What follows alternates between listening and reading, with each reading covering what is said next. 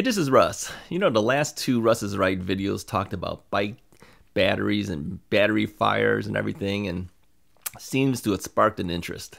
Yeah, see how I use that word? yeah, it's uh, it's an interesting topic because it's on everyone's minds at this point because uh, recent fires that happened on e-bikes and you know news articles and reports about it. So we know now too that the hotels are not allowing us to bring our bikes into the room. They don't want you to charge your batteries in the room. Keep it out of the room is what they want to want to do, right? I'm not happy with that, but I understand why they want to do that. They're trying to keep the hotel safe. They don't want you burning it down, right? Now I made a comment on the last one too. I says, "Well, how would they know if I snuck a battery in and and uh, charged it up? How would they even know that? They're not going to check every single room." And so then people said, hey, Russ, that's not ethical. That's not the moral thing to do. I didn't say I was going to do it. I just said, what if I could do it, right? And I know that people are thinking this too. So I made the comment. All right. So am I going to do it? no, I'm not going to do it.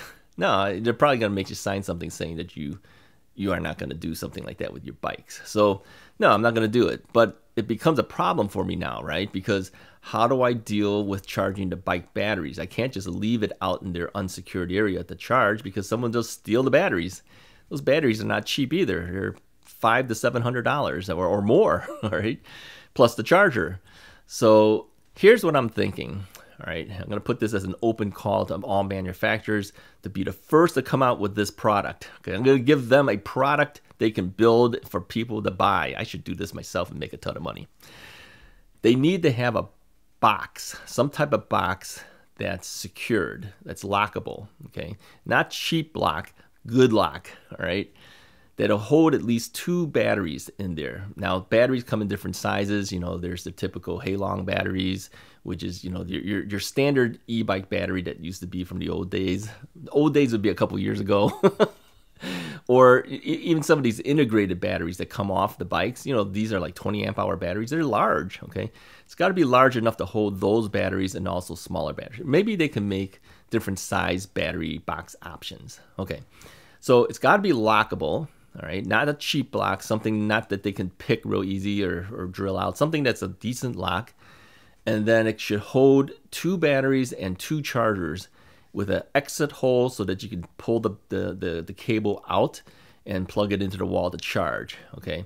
Now the box itself should also have some way to lock the box to a, a bike rack. Now, I'm not talking about the bike rack on your bike. I'm talking about the rack that like if you went to a store and they have a bicycle rack that you can put your bike next to and lock your bike to the rack. Something that we could lock the boxes to that rack okay? Now they don't have to supply us with the chain or the or the bike you know lock. We can buy those ourselves but we need a box that you know that that has the security feature that we can actually put our locks and chains big enough for big chains to go through so that we can lock that box. That way you can charge your batteries in those places and not fear that uh, your box and battery will be stolen. Okay? This is a product category for manufacturers now that they can make, all right? And I want credit for it because I'm coming up with this concept. I think that uh, people would buy this. Yeah, I'm gonna I'm gonna send this uh, concept to a couple companies and see if they're willing to look at making something like this because I think this is something that people would buy. You know, Uh, I mean, even if it cost me, even if it cost me eighty nine dollars to buy a box like this, I would buy it because how else would I secure my batteries when I'm traveling, right? So now here's my my question to you guys to do. Think about how you would build one yourself, and then put a comment below and tell me how you would do it. I think if enough people thought it through, we can come up with a concept of how to build a box like this thing if it's not commercially available yet. And if you're a manufacturing watching this video, manufacturer, build it fast before we build it. All right. So then we can just buy it and don't have to build it ourselves. Okay. So yeah, I think I'll send it off to a couple of uh, companies that I'm familiar with and see what they think of this idea. I mean, they, they, they have metal work, right? They, they build bikes. Maybe they can either do it themselves or find a company to do it for them and they can market it.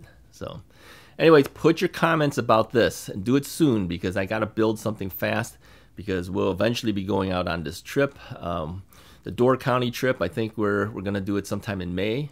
So we've got a couple months, but um, yeah, I gotta build it, right? So come up with your concepts of how to do it. We'll pick the best one, and maybe I'll build one if they don't already build one before us. Anyways, if you like this video, go ahead and hit the like button, hit the share button on this one. Let's get this video out there. Let's see what other people think about it too. And the more you share it, um, or, or like it or comment on it, it pushes it out from YouTube.